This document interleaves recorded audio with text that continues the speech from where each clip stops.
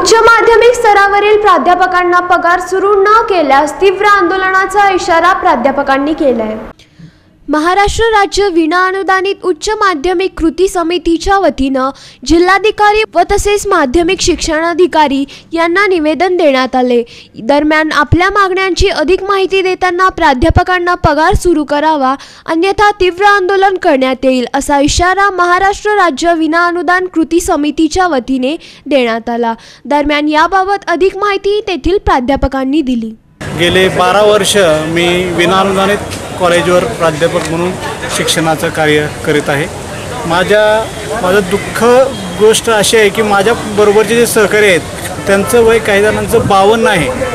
अशा परिस्थितीमध्ये जर आज शिक्षकांची अवस्था असेल जर शासनाचं धोरण वीस टक्के आणखीन जाहीरच झालेलं नाही आहे अनुदान जाहीर झाल्यानंतर जर वीस वीस टक्क्यांनी जर वेतन जर मिळणार असेल आणि शंभर टक्के अनुदान झाल्यावर त्यांची अवस्था काय असेल आमच्या सहकार्याची?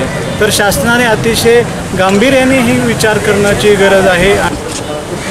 आशिष शेलार साहेबांनी कामकाज हातात घातल्यापासून पहिल्यांदाच घोषणा केली की सोळाशे छप्पन कॉलेजला या अधिवेशनातच मी अनुदान देतो आहे पण अधिवेशन संपून आज दोन महिने झाले.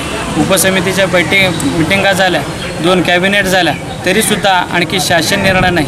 म्हणून पंधरा ऑगस्टच्या आत राखी पौर्णिमेच्या आत जर आमच्या भगिनींना बंधू बंधूंना जर ह्या शासनाने जर शासन निर्णयाच्या स्वरूपात अनुदानाची भेट नाही दिली तर इथून पुढं शिक्षकाच्या आत्महत्या झाल्यास हे सर्वस्वी शासन जबाबदार राहील. आणि आमची वेळोवेळी हेळसांडच केली असं म्हणावं लागेल.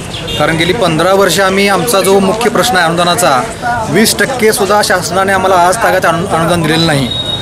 शेतकऱ्यांची जशी अवस्था आज आहे शेतकरी आत्महत्या करत आहेत तसा कदाचित पर्याय आम्हाला पंधरा ऑगस्ट नंतर अवलंबावं लागेल. कारण जर आमच्या मागण्या मान्य नाही झाल्यात कारण यातले बरेचसे शिक्षक आहेत ज्यांचं वय आज बावन्न आहे उदाहरण पारादेसर म्हणून एक आहेत. आज अक्षर त्यांची रिटायरमेंटला वेळ आलेली आहे पण त्यांना अजून एक रुपया पगार नाही. आणि या महाराष्ट्रासारख्या भूमीमध्ये आमची जी भूमी आहे छत्रपती शिवरायांची भूमी आहे महात्मा फुलेंची भूमी आंबेडकरांची भूमी आहे आणि या भूमीमध्ये पंधरा वर शिक्षकाला एक रुपया पगार नाही खरंच दुर्दैवाची गोष्ट आहे.